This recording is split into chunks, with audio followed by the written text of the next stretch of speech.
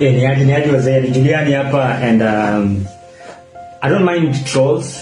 Uh, I actually find some of them funny. Uh, so si mind sana but jana when Kibe mentioned my child throughout this process I was like I mean it's funny but I felt like it was uh, to, to me it was a little bit serious because when my child was born I gave myself uh, three to six months to just spend and soak into this help the mom just be present if you notice throughout for the last three years anything that I've done I've been putting my money into it as a sheep I don't go for investor I put my money into it so yes I'm broke but I'm far from poor. And right now, the reason I have to put the bill number there is because you're calling me broke, but I'm not your kind of broke.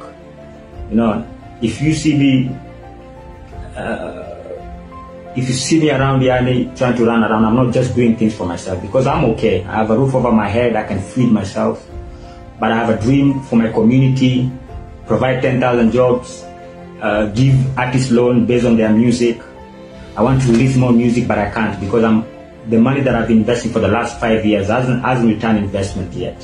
And I gave myself ten years, and it's going to work.